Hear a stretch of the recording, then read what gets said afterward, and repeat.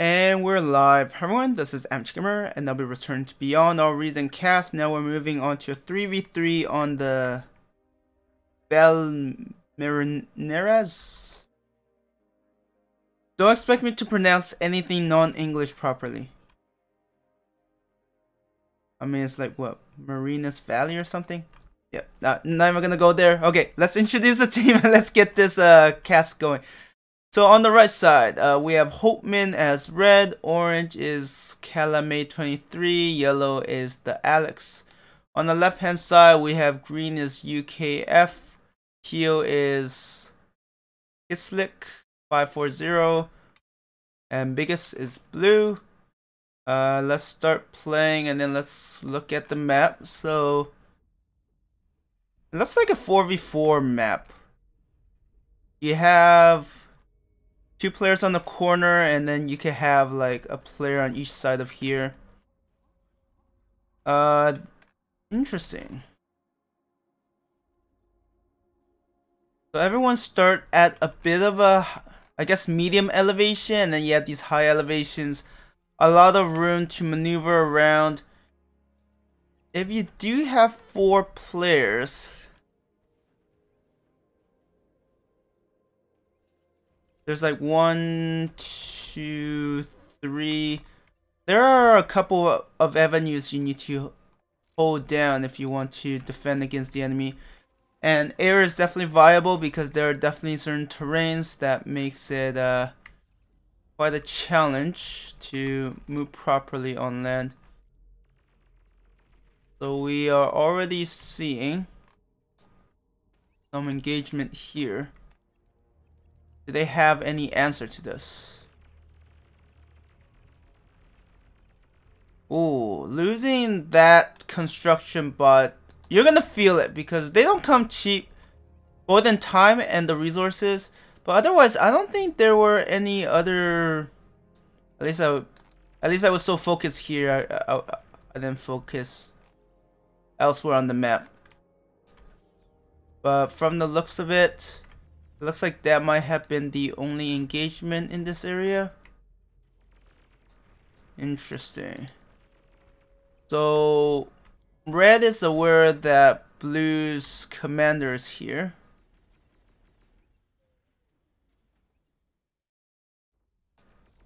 Whoa, teal went very aggressive.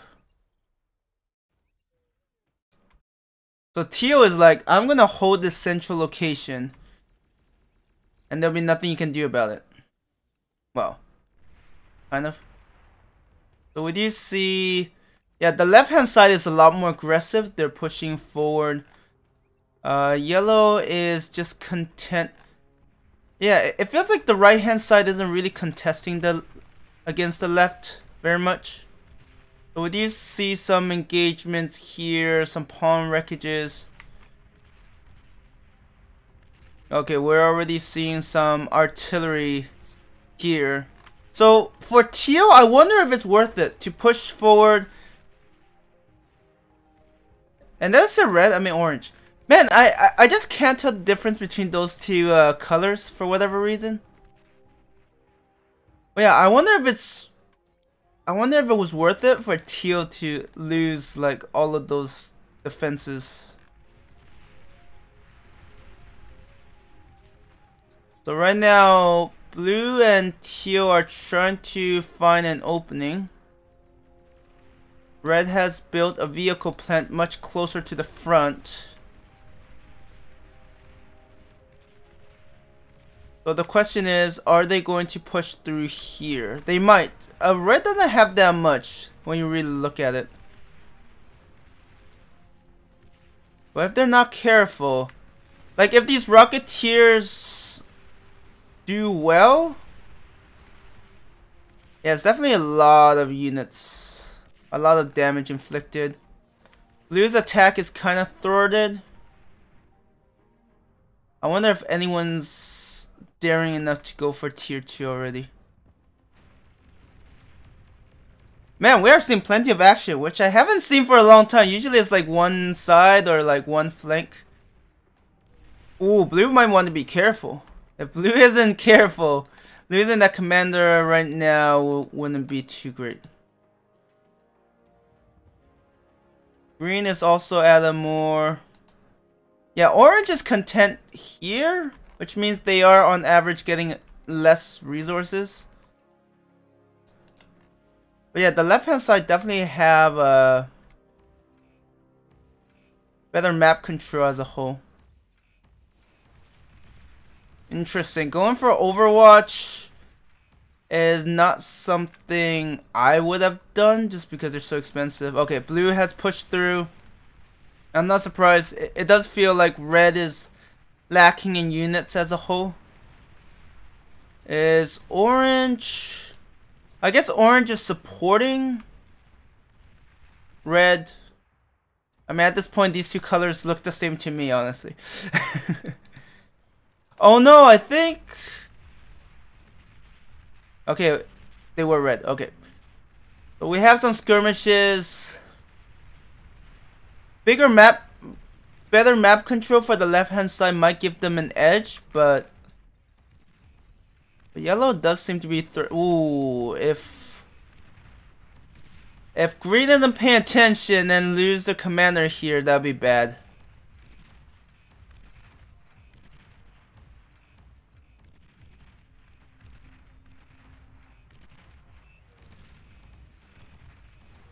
And there's also one bad thing. If that, yep, if that goes off, Green's entire bulk of their forces is gone. And right now, Orange is sending forces forward. So I guess, I guess the Rocketeers or whatever they were using did break through these defenses, but now they are going after the enemy economy. Oh, they went for tier 2.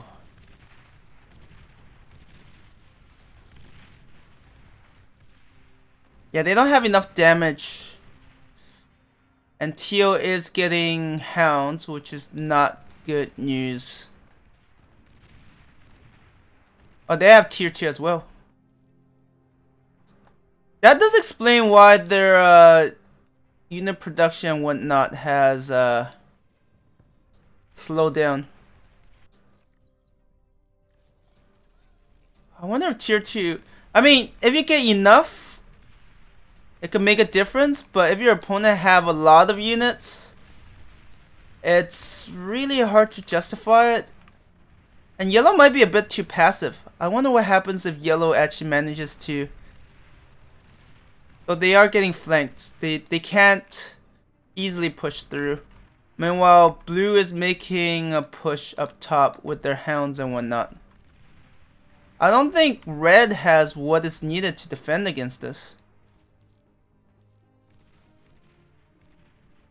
They're getting their own hounds, but they're just outnumbered. Yep. So looking at this, like I said, the, the extra map control for the left hand side really gave them, really give the left hand side a chance to basically have a better economy than their opponent. But as you can see here, hounds are decent, except against certain units, because they're cheaper, so... Yeah, they gotta be in a position where they could kind of like ambush the enemy. Ooh, yellow is trying to carry the day for...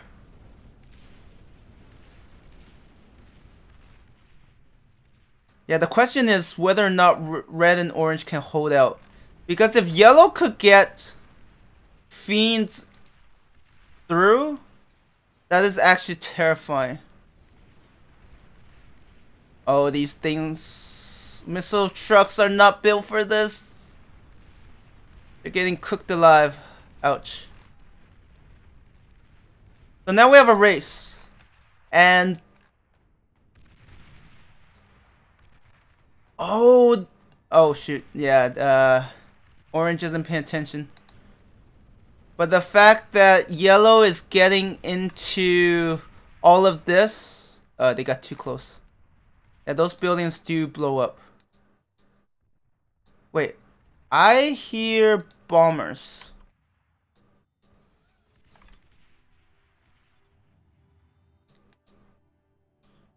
Hmm. So yellow has a chance to end this. They just need to stop playing so passively.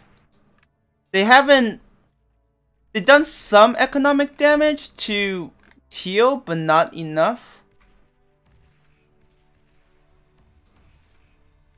Yeah, orange is wasting a lot of resources on these air units.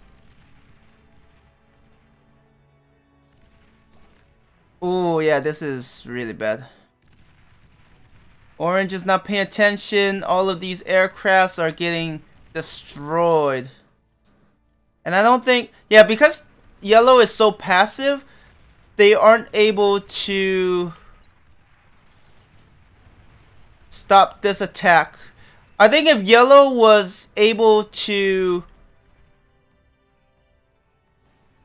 be more aggressive and push much sooner, I think this game would have been different because it might actually become yellow versus blue. But right now, yeah. It definitely feels like red and orange are just not on the... I mean, red seems like a newer player. Orange as well because getting a proper air air force is just very expensive it doesn't just happen. And yeah, yellow against all of this is definitely not going to happen. But anyways, yeah, blue blue did a ton. Like like green was more or less Green was there to kind of slow down yellow. Teal Teal was very aggressive. But they also felt very passive. Honestly, if blue didn't push, I, I think eventually this game would have went to the right hand side. So, yeah, blue definitely had to do a fair share, being aggro, push through, destroy the bases to eventually uh, conclude the battle. Honestly, I I would have been fine seeing blue eliminating red and orange and yellow eliminating green and teal. So it's just blue versus yellow. That that'd be pretty fun to watch.